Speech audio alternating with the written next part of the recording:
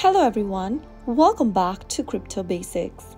In today's video, I'm going to show you how to delete your Bybit account. If you want to get rid of your account for Bybit since you don't want to use the service anymore, then the process is quite easy. Simply go ahead and launch Open the Bybit application on your device. Make sure to log into your Bybit account by entering your credentials. Once you're logged in, go ahead and click on your profile picture at the top left hand corner. Now, once you end up in this page, scroll down and click on Help. Now, you'll be redirected in this self-service page from Bybit Help Center. Scroll down and click on the Deactivate Account button. On the next page, go through the information. If you wish to delete or deactivate your account and continue with the process, you won't be able to log into your account again. After your account has been deleted, you'll not be able to access any trading products on Bybit, including API trading, if you wish to recover your account, you'll need to contact the customer service and verify your identity. You'll also not be allowed to re-register with the same email address, mobile number, or identification detail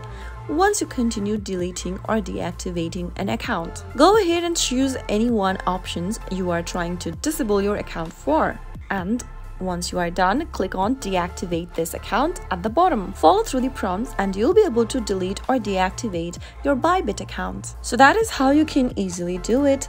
If you found the video to be helpful, go ahead and give us a thumbs up. Don't forget to subscribe to the channel by hitting the subscribe button.